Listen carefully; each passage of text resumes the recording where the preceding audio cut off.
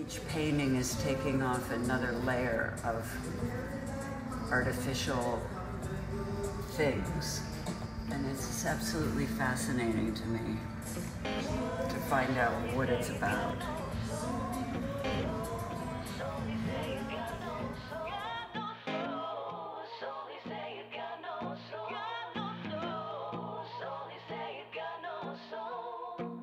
What makes someone know where to go when she walks with no aim?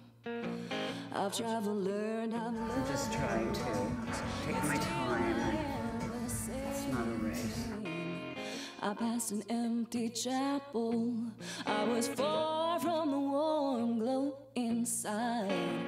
I don't believe in any religion, but the emptiness made. If I could just get some inspiration and enter through my transformation, then